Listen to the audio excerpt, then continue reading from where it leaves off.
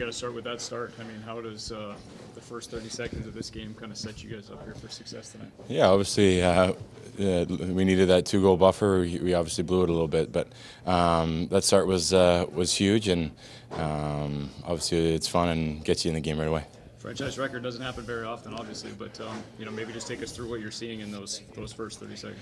Oh, we just wanted to have a good start like uh, like last game, and um, did a good job on the forecheck. Handy got in, um, shut down the wall, and obviously Dubes made a great play to me, and um, it was uh, you know one of my easier goals I've ever scored, and um, similar thing on the next one. Uh, just a good forecheck, and Lindy in a good spot made a great play to Dubes, and, and he put it in. What, uh, sort of conversation happens when a line leaves the ice with two goals after 30 seconds?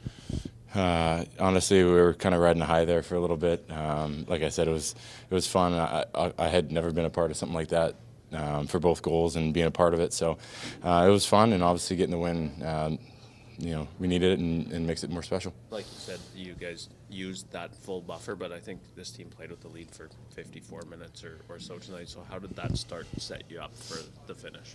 Yeah, um, I think we uh, we needed to uh, you know find a way to to you know come together and, and win a game, win a close game. It's been a while, and um, obviously the Naz line with a huge huge two goals, and you know kind of put it away for us.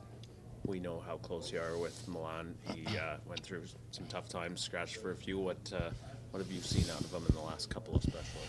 Yeah, I think uh, you know tonight especially, you did a really good job on the forecheck and um, he was doing the right things, and um, he was fortunate to, to get a goal, and, and like I said, put it away for us.